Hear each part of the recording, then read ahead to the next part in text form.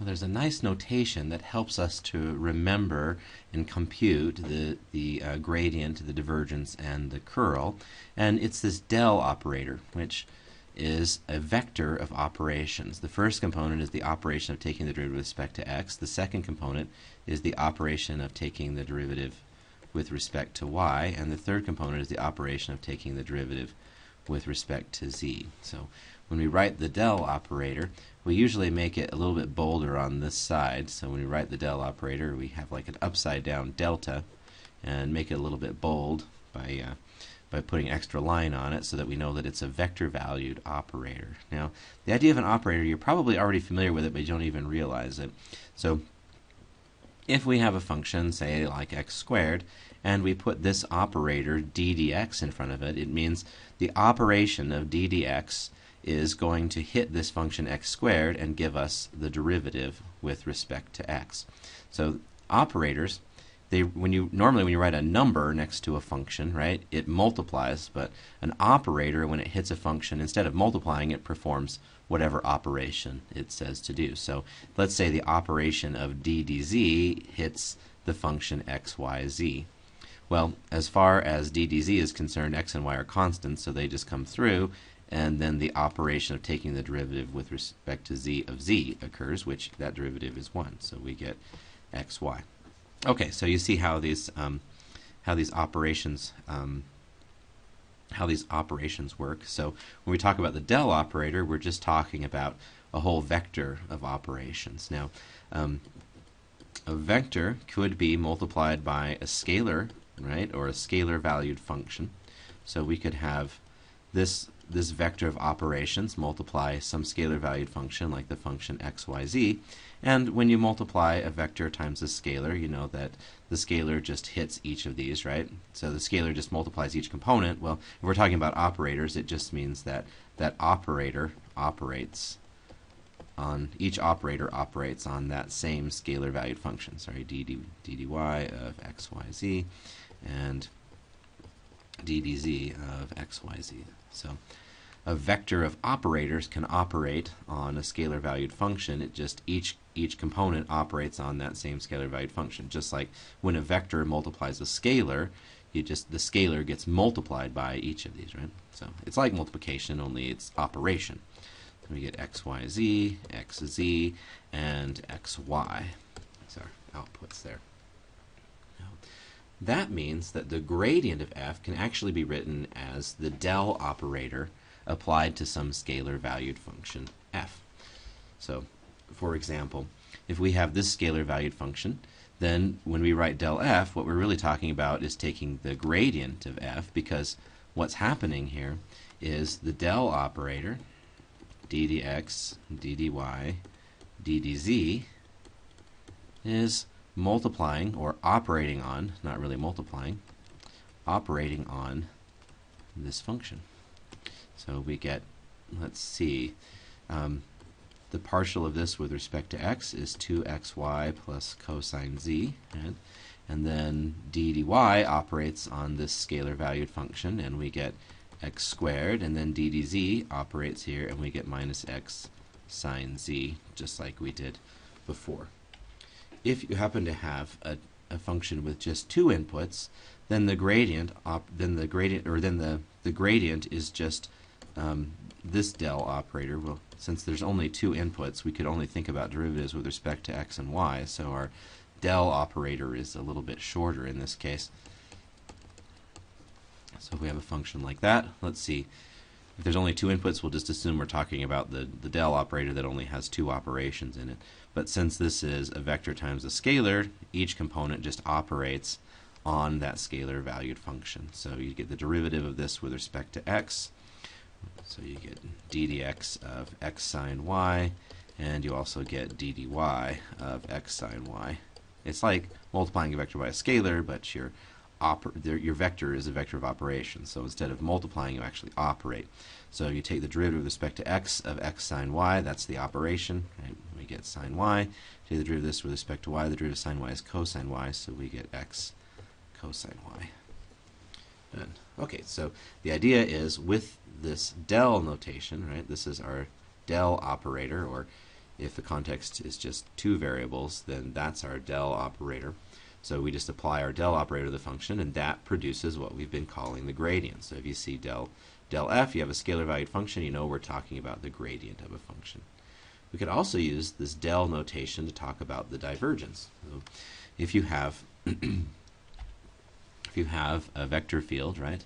So this function is a vector field in all in R3, and we want to find um, the divergence. We just take our del operator, remember, our, and and dot it with our function. Remember, our del operator is the operation. First, first operation is derivative with respect to x. Second operation is derivative with respect to y and the third operation is derivative with respect to z. And if we dot that with this function, it's just like multiplying dot, the dot product of two vectors, right? But instead of multiplying, we operate. So we get um, the dot product of two vectors is a scalar, so we get they were just regular vectors, we get this multiplication, right? The first component of the first vector times the first component of the second vector. The only difference is now this is instead of an a, a, number, this is an operator, and instead of multiplication, we're going to have operation.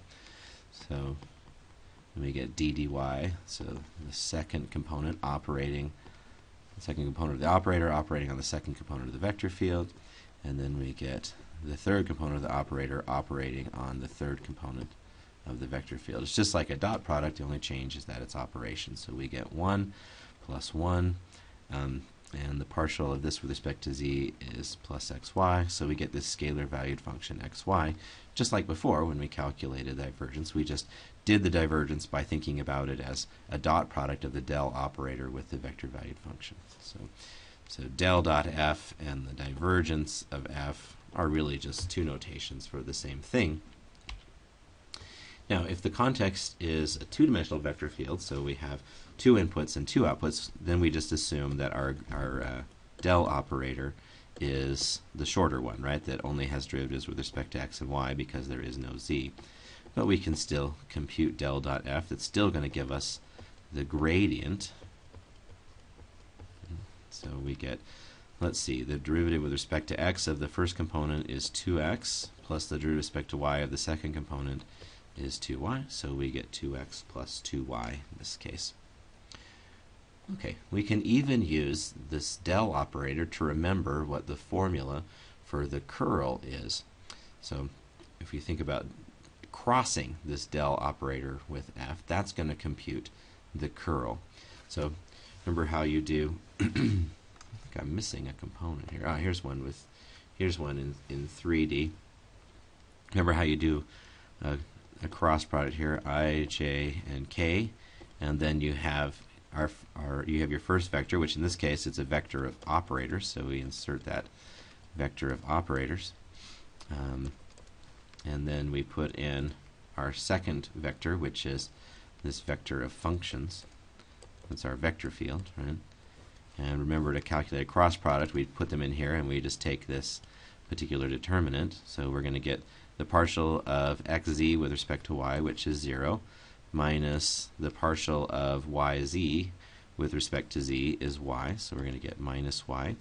And let's see, our j component, we're going to get negative j times um, this determinant. The partial of this with respect to x is um, z, so we have minus because j is in a negative position, and then um, then we have the partial of this with respect to x is z, and the partial of this with respect to z is 0, so we have z is 0, and then finally k, k is going to be this product. Let's see, the partial with respect to x of y z is 0, the minus the partial with respect to y of xy is x, so we get minus x here.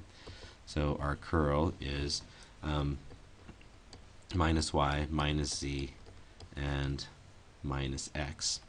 Now, if your vector field um, is really only a two-dimensional vector field, then remember when we wanted to calculate the curl, we just um, sort of embedded it in three-dimensional space by adding a zero component on the end. So let's put our ijk here. We're doing del cross f, so we put in the components of that del operator, which are the operations of taking the derivative with respect to x, y, and z, and then we put in our function, let's see, we have x minus y, xy, and then 0, right? There was no third component. So notice what we're going to get. Let's see, the derivative of 0 with respect to y is 0. The derivative of xy with respect to z is 0. So the first component is 0. And then here's our j.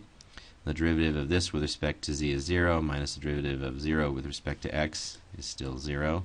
And then the k component, the derivative of xy with respect to x is y.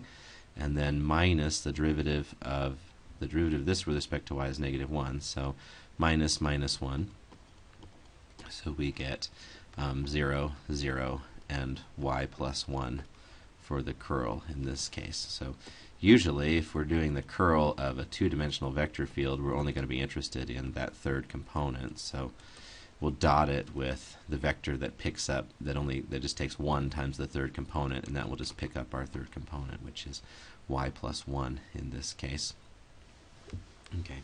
You can see in general, this is just a nice way of remembering that somewhat complicated formula for the curl, because if you do, let's see, partial with respect to x, partial with respect to y, partial with respect to z, and you've got three components, usually we call them m, n, and p, what we get here for i is the partial of p with respect to y minus the partial of n with respect to z. Um, for j, we get um, the partial of m with respect to z minus the partial of p with respect to x. Notice I reverse the order here because j is in a negative position.